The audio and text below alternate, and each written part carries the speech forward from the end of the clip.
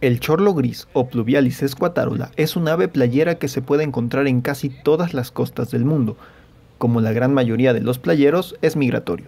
Pasa el verano en la tundra de Siberia, Canadá y Alaska, y durante el invierno se distribuye por las costas. Para el continente americano es posible encontrarlo desde el sur de Canadá hasta Chile y Argentina. Tiene una distribución enorme.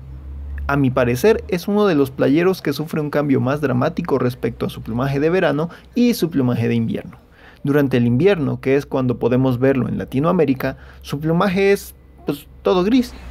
Pero en verano su plumaje tiene un sorprendente contraste entre plumas negras y blancas que a mí me gusta mucho. Aunque es una especie común, corre riesgos similares a los de otras especies de playeros la ingesta de plásticos y la reducción del hábitat adecuado para anidar debido al cambio climático podrían reducir las poblaciones de esta especie a mediano plazo.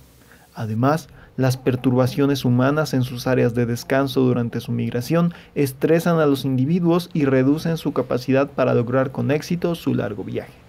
Recuerda, no molestes a los playeros.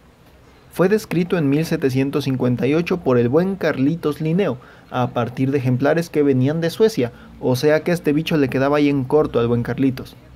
El nombre pluvialis viene del latín pluvius, que significa lluvia, y hace referencia a una antigua leyenda que dice que este tipo de aves comenzaban a llamar antes de que lloviera. Squatarola viene de Sgatarola, un antiguo nombre con el que los habitantes de Venecia se referían a los chorlitos. ¿Y tú?